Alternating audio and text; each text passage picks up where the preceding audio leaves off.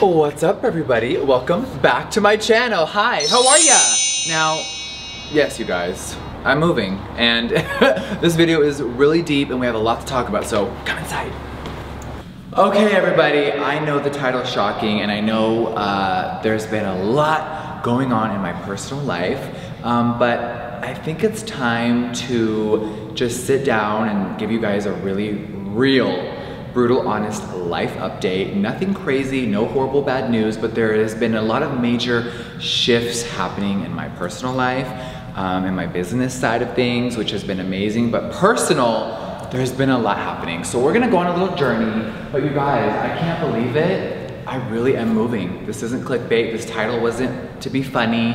Um, there's been a lot of so many uh, crazy things behind the scenes and I wanted to sit down, share everything with you guys and come along this journey. All right, everyone. Hi. I, I know my intro was like, Jeffree, what is going on? But um, I just want to turn on the camera and just talk and vent and let you guys know what's been happening. There's been so many things I haven't been ready to talk about, but I do wanna let everyone know that for the first time in my life, at 35 years old, I am finally leaving California. Some of you probably aren't shocked. A lot of you may be uh, shocked by the, that news, but I am gonna sell this house. And I wanna dive into, of course, why. This is a very big, shocking life change for me, but 2020, and I think I've said this a million times, but it really took it out of me. And I had so much time during COVID and lockdown and quarantine to really reevaluate my entire life. And I finally had a lot of time to address things that I was not ready to address with myself, was too scared to deal with my personal uh, issues, um, and so many mental things that I was running from. So I'm selling this house. I need to say goodbye to California for a second. My businesses are here, Jeffree Star Cosmetics, Killer Merch. Those are not going anywhere from California, of course. Um, but me personally, for my mental health and the next chapter of my life and my journey, I need to step away. And you guys know I live in Wyoming part-time, now full-time and I really needed to do it for me. Now this decision was astronomically hard. There's so many factors in my life um, and after months, I think I'm ready. I'm the first person to admit I'm a very damaged person. I've been through so much trauma, so I've lived 10 lives and I have been through so many things that I never wanted to deal with. So I think I just kind of want to go back and replay 2019. I had some of the biggest wins of my entire career, and I had some of the biggest losses of my entire life. And instead of healing from those traumas, I ran, I covered it up, um, and I never got to address it. So just being so open and candid, I lost, you guys know I lost two dogs in 19. I lost the love of my life, the one person that I've truly been in love with is not in my life anymore. And those things, however they seem to someone else, were so devastating to me personally. And I'm so grateful for my relationship. I'm always gonna keep it sacred. I'm never gonna talk about anything. I know that people love drama and tea, and I've been such a major player in those emotions. And I haven't in a long time, and I know that the word drama is stuck to my name, maybe forever, but I know who I am standing here today, and I had to face a lot of demons. I had to look in the mirror and really, really, really self-reflect. And being in this big house is so lonely. It really is. And it, it, it wasn't at first, but it's really, really lonely here. Um, I'm just one person now you know, my mom has lived with me. I've had friends, I've had family, I've had cousins, I've had employees stay with me. Obviously, this is uh, this is like a hotel basically, and it's just it's just not for me anymore. It's time to move on. It's time to grow, and I don't think I can do it here. But I really want to go back to not letting myself heal, dealing with so much trauma. I, am gonna use that word a lot today because I've, I've had so much. And if you don't deal with your demons, they're gonna haunt you and eat you alive. When my second dog, Daddy, passed away, I still have a really, really hard time talking about it. I miss the dogs a lot. Every day I think about them and I thought I was okay last year and I really wasn't. The only thing keeping me distracted was filming my series, putting out the conspiracy palette with Shane, and those were life-changing moments. Those were some of the biggest moments of my career. It was such a high to be in the midst of full depression and heartbreak coming and we're filming a series and it was the only thing distracting me I think from really going down a place where I don't I don't I don't know I don't even want to think about it but it was such a blessing to be able to have that distraction and when the launch happened and the distraction was over reality really hit me. I look back and I think that I was existing without slowing down. I was just there and I'm such a workhorse. I have such a strong work ethic and I just masked all my pain with work. I got back on the road. I was doing meet and greets every other week. I was traveling on an airplane every day. And I was running from my problems. I didn't address them and it was such an awful mistake, but I didn't fully know what was going on. Um, internally, I, I wasn't ready to view myself and really work on it. I really wasn't. And I think so many people have put me on a pedestal sometimes of what I should be, what I shouldn't be, how I should act. And I finally had to let that all go. I used to amplify things and do things because I thought everyone would like it. And that's one of the hardest things to admit. I felt like since I joined YouTube until now, the first few years was like there's no handbook for this. There's no, I, I literally went from you guys living in a two bedroom apartment seven years ago. I had $500 to my name to five years later, my brand made its first five, like $500 million. How could I even fathom or understand what that meant? I went from working at the mall at Mac to being a CEO and then I inserted YouTube and I fell in love and I expanded my family and I invested into so many things and businesses and it was a whirlwind of craziness, beautiful energy, uh, insane times and then Corona happened. And COVID happened and I was leaving 2019 with so much pain and I found this place and obviously we had no idea COVID would happen and when I found it, it just felt right do I need to be in a house this big? Of course I don't. My ego at the time thought I did. And I, I wanted to prove to myself how big can I take this? This whole entire brand, the vision of Jeffree Star Cosmetics and myself, how big can I grow this? And I manifested every single thing. And I'm so proud of that. But internally, I was suffering immensely. I wasn't telling the people that loved me around and that surrounded me and who were on my team how, what was really happening and that was one of my biggest regrets is not asking for help I know I may be talking all over the place. I just have so many thoughts in my head, but I just wanted to be really candid with you guys and let you know that I, when I fell in love, I feel like it opened up internally something so beautiful that I had never experienced before and I really miss it. But I'm so grateful for the past because I actually, from being in love with someone, I actually really loved myself for the first time in a long time. I'm just really grateful. I know that sounds so weird, but I really think that the only person I'll ever be in love with came and went in my life. And I know that sounds however it sounds to anyone, I don't know, but that's just how I feel. And that's okay. I'm not currently searching for love. I don't want to be in a relationship. I cherish all the memories I had, but I had to stop running. I had to stop hanging out with idiots. I had to stop uh, dating. And I had to just really focus on me.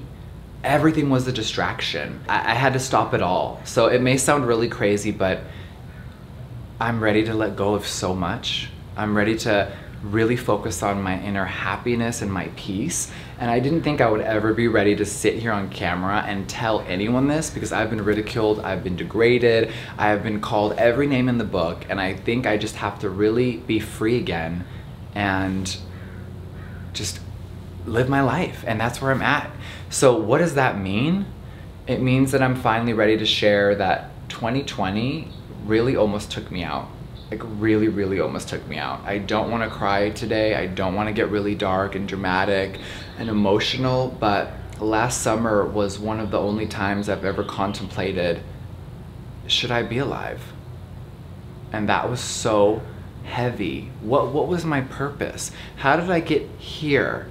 And i came to the conclusion that i really needed help with why i react the way i react why i do the things i do um, I somehow got caught up in joining this YouTube space and the beauty world. Now the beauty community is insane. I don't even think there is one anymore currently, today. But I was part of the problem, but I also got swept up into so many other people's bullshit. And I'll regret that forever. All the crazy things that have happened publicly so many things will never be said and that's what i want to let you guys know is i don't want to entertain drama. I haven't in months and months and i've been attacked 20 times and i just ignore it now and i do me. I can't clap back at everyone. I can't make sit down videos letting people know the truth but i really used to think that's what i had to do. As soon as something happened behind the scenes i had to react publicly and let everyone know what happened and say my side of the story and i have to be right. And I regret that. And I really got caught up in this, like the, the movie Mean Girls, right? It's so iconic. We all love it. It's fun. But the character Regina George was something that I started to really fall into and slip into. I really want to sit here and let you guys know like I'm sorry as well. This isn't an apology video. This isn't me trying to say sorry about anything in the past, which I'll always forever be. This is just me saying I'm sorry to anyone I've ever hurt. I'm sorry that I let people hurt me and I'm sorry I trusted so hard with friends in my past, but a lot of the times I amplified things when I should have just shut up. I made things 10 times worse so many times, and I don't even know who that person was. And I really got caught up in the mean girl, Regina George character. I really did. And we can all make jokes about how she got hit by the bus and ended up in the back brace. Girl, same. And this is funny because this is the first video I'm filming without the back brace finally. My doctor has cleared me. I'm healing really good. But the accident and everything else that has happened leading up to that, everything happens for a reason. I think my accident really, really happened for a reason. I think that all the drama and all the ugliness that happened last summer was meant to be. Whatever higher power or life or God or anything that you guys believe in, it was supposed to happen. And it was one of the most humbling experiences. Um, you guys, uh, bitch, we all know. Let's let's let's let's be really, really, really transparent. I lost millions of followers. I had people turn on me, and all because of what someone else made up. Now we know there's a million things leading up to that. I don't want to dive into that ever again, and we're not going to talk about it. But um, fully, I just think that the past is the past. We all know what happened. It is what it is. It's over. It's dead and gone. But I just wanted to share what I was going through and it was god awful. I'm never gonna play the victim. I know my parts that I've played in certain things, and I'll always be embarrassed by that. And I'm here now, and I think I'm really ready to say it. It's been hard for me to spit this out today, but last year I sought help and I started therapy. And I haven't gone to therapy since high school, you guys. Um, if you don't know, I used to be really into self-mutilation and so many awful things in high school. And um, my mom had me get help back then and it was it was actually beneficial which I never wanted to admit. And it came to a point where I really wanted to understand my brain understand my emotions and get things into control. Why am I lashing out? Why am I doing the things that I'm doing? And I really needed self-discovery and I needed to heal I moved into this massive home, lost basically two children. That's that's what my dogs mean to me. They're my life and my they're my they're my kids. I lost basically two dogs, the love of my life, had the biggest moment of my career, and never dealt with any of the emotions, the pain, the trauma, any of it. even the good parts. I wasn't even enjoying the good parts. I was just go, go, go, go, go. And I burnt myself out. And I sat with my family, I poured my heart out, and I reached out to someone through a friend that had really been going through something. And they said, hey, just here, here's this therapist number. If you're ever ready, call. I stared at that number for months, being so afraid to call. And I finally picked up the phone because what did I have to be afraid of? I had done so much damage to myself internally and I really finally wanted to heal. I think I was afraid to heal. I don't know why, I don't even know how to articulate it, but I was afraid to get better and work on myself. And that was one of the scariest humps that I had to get over. And once I started going through and processing everything and dealing with it all. It, it, was like cracking open a safe and everything was just pouring out all the emotions. I'm still healing. I don't know if I'll ever be healed from, from, from my past, you know, and I'm just so thankful that I'm in the place I am now. So we're not leaving this video in an awful place. I'm leaving this in the best place. Can you imagine? I'm actually in a really, really great place mentally. I feel like I'm thriving um, closer to my family than ever before. I'm really focused on creating again and I'm happy. I really am. Oh my, god, it just sounds so crazy. I'm happy again and I don't want to cry. We're not crying today. Oh, but I'm, I'm happy and I want to cry because I'm happy. And I, I didn't know if after my breakup and if, if I could be happy again. So what does this mean now? It means that I'm ready to stop being a single person in a 25,000 square foot home. Let a family enjoy this. Let someone else enjoy this. I'm proud of where I've gotten to, of course, but I need to have a new energy. So am I leaving California forever? Of course not. Am I moving to Wyoming as my main residency? absolutely. I love it out there. Now I know the easy thing if you don't like me or you may have uh, any thoughts about me in a bad way, you may think Jeffree's going to Wyoming because of taxes and money. And yes, the taxes are beautiful on, on some aspects, but it's my problem that I, I, am not sure how to say this yet or, or how to articulate it, but Jeffree Star, the person, also became to me, I, I always say like a character because I'll amplify things and I literally had nothing seven years ago. And I got way too much, maybe some could say. And, I, and I'll go back to the, there's no handbook of life. There was no guidance for me of, oh my God, you went from this to this. How do you handle it all? Filling the void with so many things because I can and I could.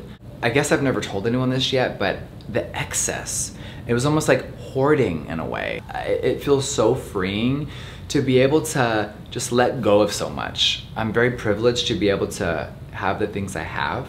I can't believe that I've gotten this far in life as far as my career and the goals I've wanted to achieve. And there's more to me. I, mean, I don't want to talk in the third person like an idiot, but there's more to me. But there, and there is, there is more to Jeffree Star than just the facade that I think so many people have seen. And I amplified that because I thought that that's what people wanted and that's not me anymore. Of course I love collecting. So I, am gonna have a car collection forever. I'm gonna have a few properties. I love investing. I'm all about the business. I did an entire series about the cosmetics industry. I pulled the curtain behind it all and showed you everything. And creating is where it's at. Shopping doesn't turn me on anymore. It doesn't fill the void of the emptiness. It doesn't. It really doesn't. So this isn't a statement of I'm never gonna buy a nice thing again. This is just me letting you guys know a lot of major changes that I've had to implement mentally, physically. Um, I know I'm rambling, but because I, I, just have so much to talk about. so this may be a long video. I hope you guys can stick it out. But when it when it comes to my image. I, I really played into it too hard and my, my eating habits, my the things that I was presenting, the way I was acting, I would eat fast food, you guys, six times a week. I have one of the fastest metabolisms I think ever. That's just how my family are. Every, every male in my family is thin no matter how young or old. I've been the same weight since high school, but I was getting thinner. I wasn't taking care of myself while also eating like junk. So no, I don't have an eating disorder. and There's nothing like that. I was just eating so unhealthy and I was playing up into the yes, Jack in the Box, McDonald's, everything, yay. And it was really unhealthy, really unhealthy. So I stopped. I stopped cold turkey and I felt like I was gonna die. And now it sounds so dramatic, but it was awful. For a few months, I was going through a lot changing my entire diet, working out for the first time in years. I have a gym sitting in this house that I never used. Looked great on camera. I just stared at it. So this may sound crazy, but I saw, I've been seeing comments randomly, they're not crazy, but randomly it's like, oh, Jeffree, you look a little fuller. Jeffree, you look a little more plump. I love it. I could cry hearing that. Um, I'm gonna throw in a clip of, of me on my channel when I filmed a video three, four years ago. I look skeletal, I look so thin, and I see me just working and working, working and not taking care of me. So I know this is another shocker, but I've stopped eating fast food. I had to stop. And for personal reasons, I think it was making me mentally unhappy. It was, it was adding on to it. Fast food wasn't making me unhappy. I think it was contributing to how low I was feeling. During the lockdown, I did a full 360 and really focused on me mentally, physically, my heart, my happiness, and I, I'm just so proud to say I'm happy. I know it sounds so silly and, and weird maybe to some people, but I'm so ready for the next chapter. So what does that mean? Baby, as this video goes live, I'm putting this house for sale. I need to get away from California and having its day-to-day -day, uh, atmosphere. I think I've gotten all I can out of this state and I'll be visiting of course every month. I'll be shooting at my studio, we'll be doing campaigns. My offices are still here, my team is here. No, not everyone is moving to Wyoming. A few people are to join my other companies, but um, everyone's staying put. I'm ready to soar. I'm ready to change. The next evolution is, is here for me and um, I'm ready for it, you guys. I really, really am. Now, during the lockdown, I learned a lot about myself. There was months and months and months of isolation, and it was psychologically a lot from traveling every week, meet and greets, meeting people, hugging people, having real interactions with fans and customers and subscribers. It all came to a halt. And I know everyone watching this, all of our lives were disrupted. And it really, really got me. It really did.